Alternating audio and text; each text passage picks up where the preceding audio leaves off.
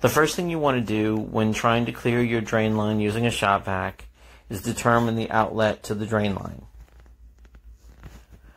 Next, you're going to want to connect your shop vac hose to the outlet of the drain line snugly and firmly as to create a good seal. Connect your hose to your shop vac if your shop vac has a larger diameter hose, you might need to find a way to reduce the diameter so it still fits snugly over the drain line.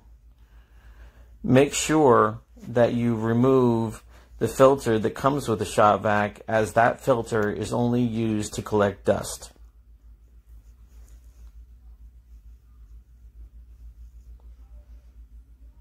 Now plug in your shop vac and turn it on.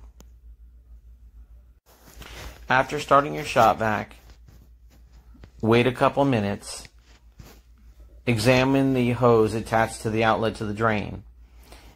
If it is starting to jump up and down a little, this is a good indicator the drain line is starting to clear. If it isn't moving much at all, you could still have a clog and might have to run it longer. With the drain line clear, you're on to the next step.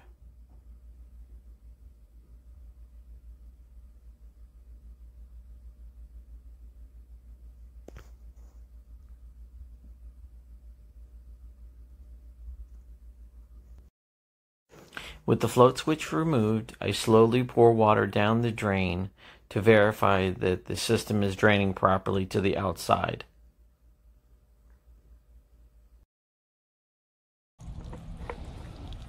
As you can see and hear, it's draining great.